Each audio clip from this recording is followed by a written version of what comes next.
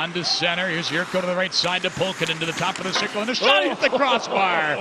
And he blew it right by, sparked it off the crossbar and went. And we got more trouble. Here we go. Holzer Now going at it with Evans.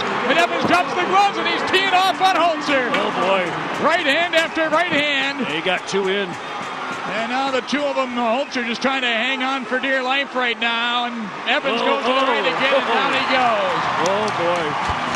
Uh, he got him with four shots in that fight, and I'll tell you, I don't know who Holzer was going after, but Evans stepped in and said, "Enough of that. You want to go with somebody?